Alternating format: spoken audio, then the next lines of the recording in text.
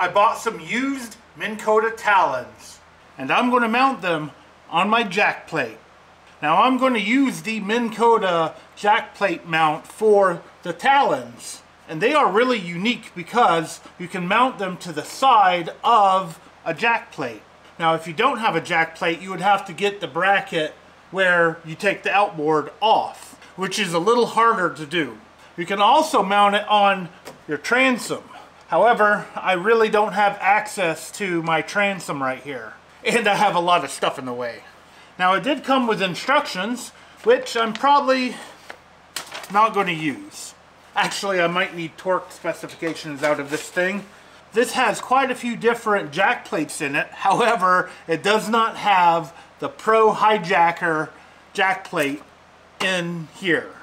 So I have to wing this a little bit and use a six-year-old YouTube video to make sure I'm doing this right.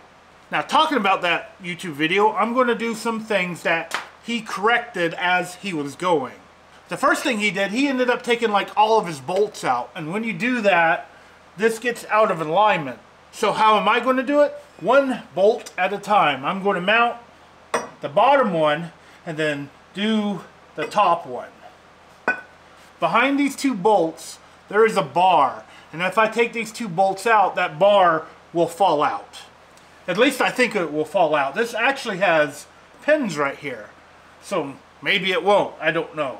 I do have the outboard on this tire holding it up a little bit.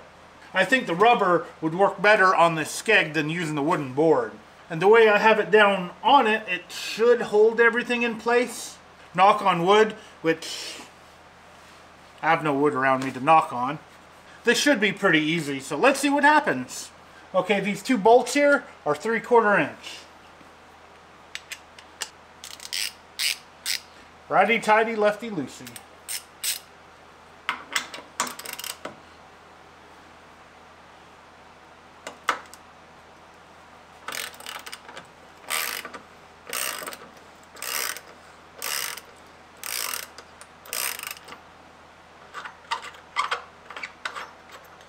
So I don't think it's binding up. That's good.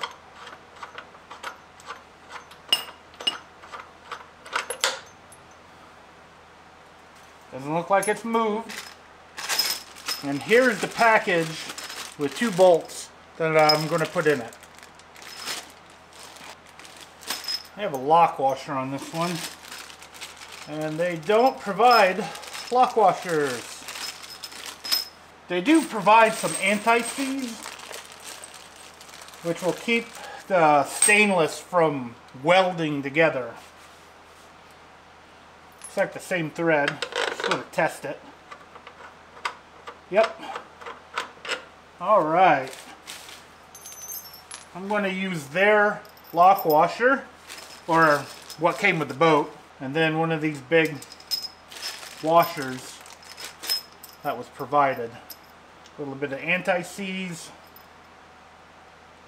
I think you're supposed to put this all over everything. This part of the bracket here.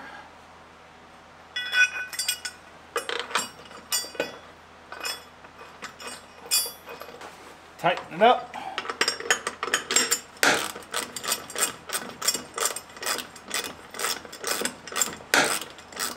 I'm going to check the back. It's poked out a little bit, but there's nothing back here that's going to cause a problem. Now to undo the other one, you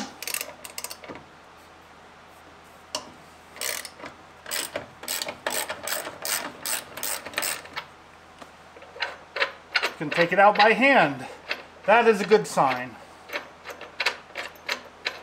Same thing, old lock washer, new thick washer. And boy, oh boy, are these things thick. Look at the difference there. Now I can't see. This one's being a little bit more tough to get in, but I think I got it started.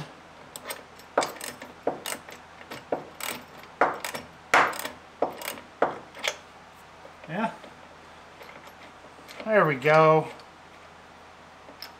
It is even to the bottom, and I actually had to use a screw hole here. You see that on camera, that's actually a screw hole instead of this slot. It must be the way this Pro Hijacker is made. The bottom one is in the slot. And you know what? I forgot to put the anti-seize on.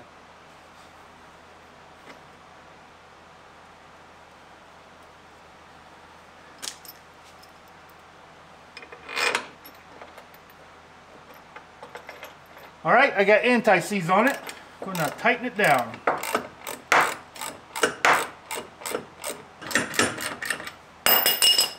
This would be a lot easier with power tools. However, in the instructions, which, yes, I did read them, it says not to use power tools because they could make these parts seize up. Okay, I'm getting these hand tight first. Now in the book, it says 50 foot-pounds minimum.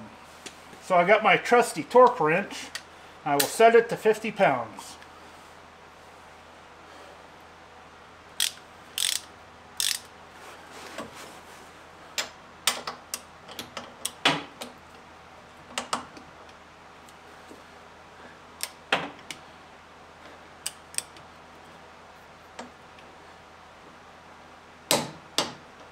There we go. 50 foot-pounds on the bottom. 50 foot-pounds on the top. Now I'm going to do all of this on the other side.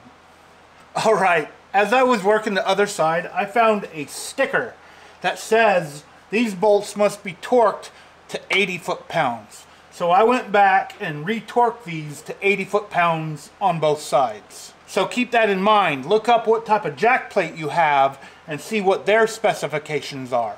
Now the next part of this is the easy part. The assembly of the bracket itself. You want it going up like that and there's grooves in here so you can put it in and just leave it in place. So I'm going to have to figure out what is the best position for this.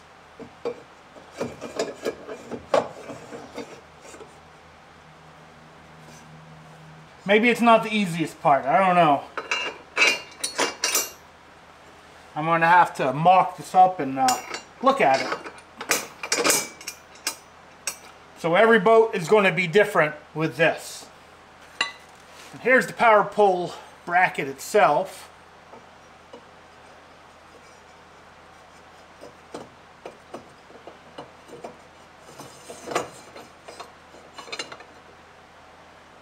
Hoping it's this easy.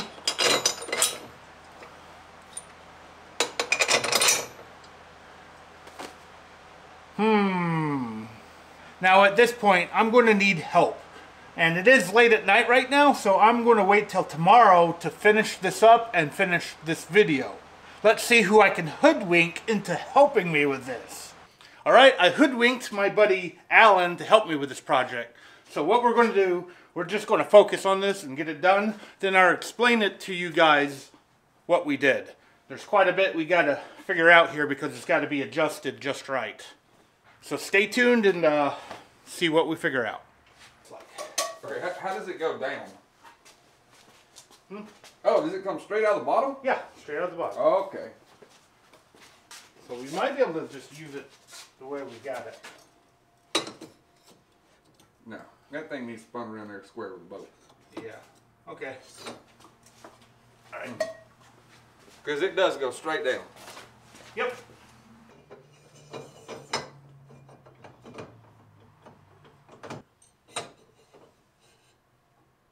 All right, we actually had to do some changes here because I realized that the bottom of the bracket would be in the water. It was almost equal to the transducer, which means it would have splashed water up, kind of like what the transducer does right now.